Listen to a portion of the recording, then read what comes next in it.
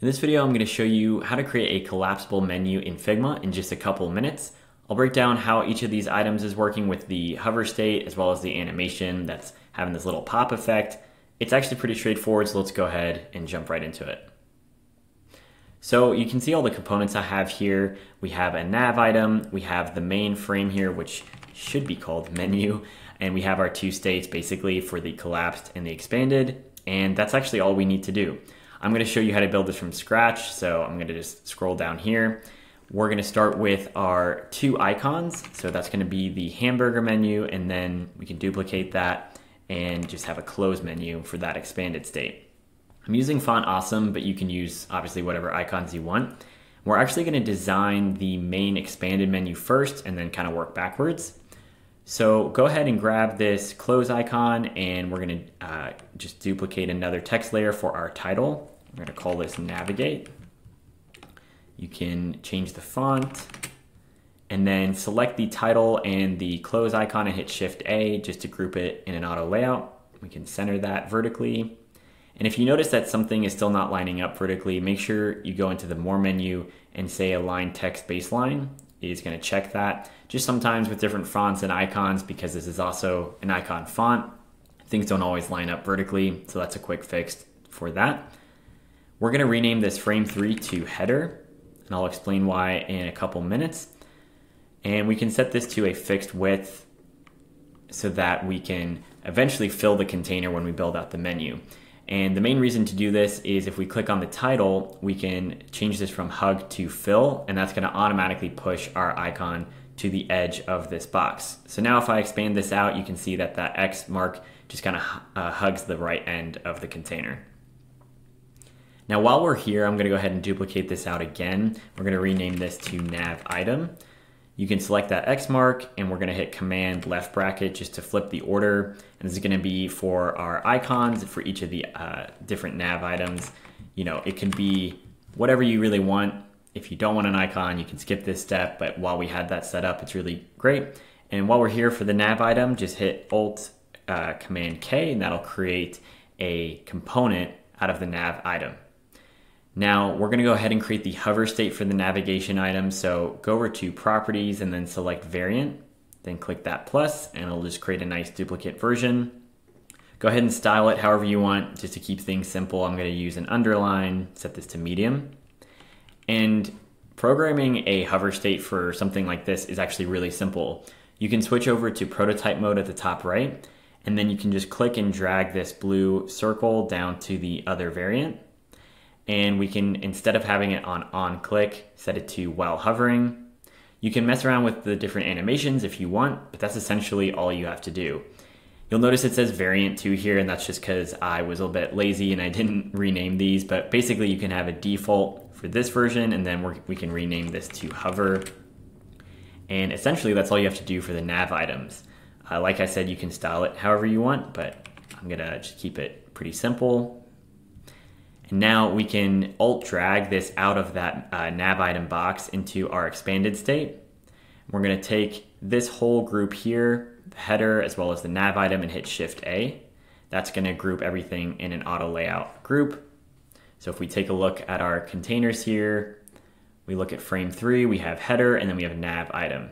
So we can rename this to menu and then just duplicate however many items you want.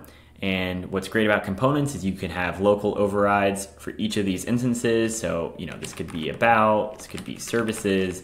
You're not editing the main component. You can style this however you want. Um, again, this is why I love Font Awesome because you could have uh, pretty much whatever, you know, icon you want. You just type it right in there.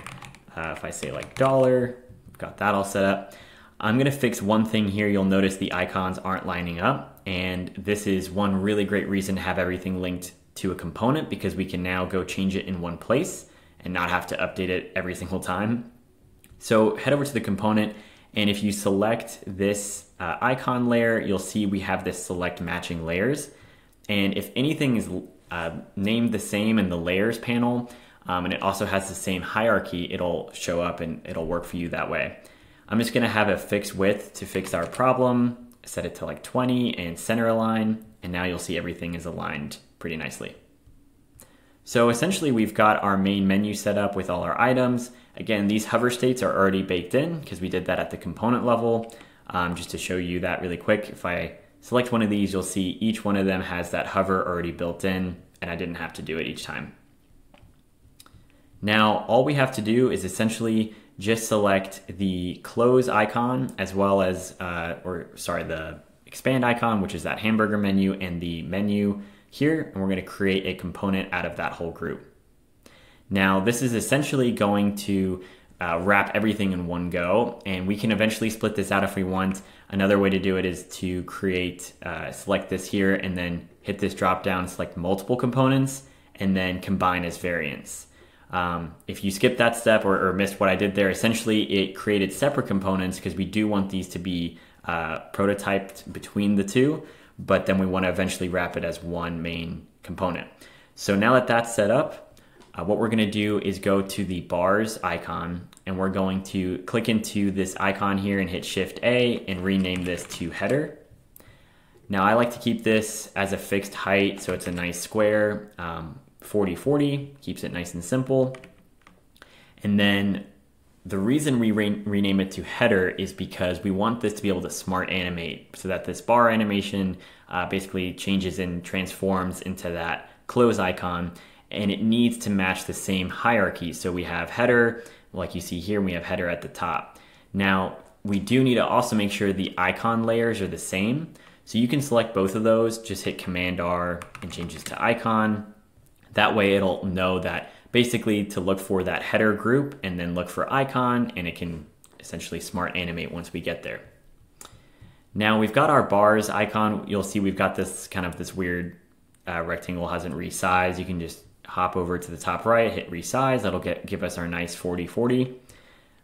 And we can hit Shift E to go into prototype mode. We're going to basically just connect these two variants. So click and drag down to the bottom window and on click, we want it to change to that other expanded menu.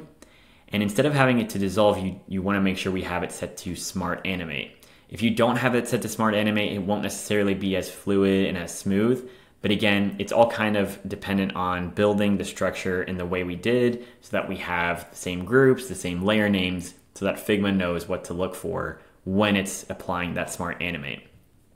And essentially that's all we have to do. We do want to make sure we uh, prototype the close icon, but as far as the actual expanded state, that's the basics of the animation. Now, within the Smart Animate panel, we can also play around with that animation style. You could have this be a quick bounce or gentle. It's totally up to you. I like to keep it um, around 500 or 400 milliseconds, just feels a little snappier. And then we're just gonna prototype back that uh, close icon. So if we select that icon, we drag back to the other variant. We can have it set to on click, change to the other variation, and hit Smart Animate. I know my labels are a bit messed up, so we can, again, just click those variants here. We can have this as, you know, collapsed, select the other variant, and make sure this says expanded. And essentially, we've connected those two and, and labeled them quite clearly.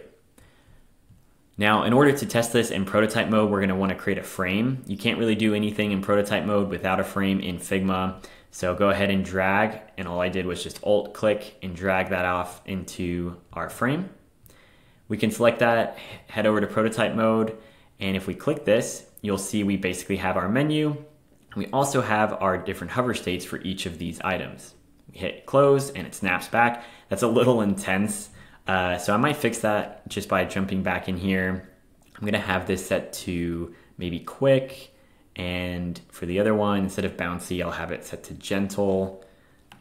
Since it's more important that it comes out quicker than it is when it, uh, or closes, it can be a little bit slower.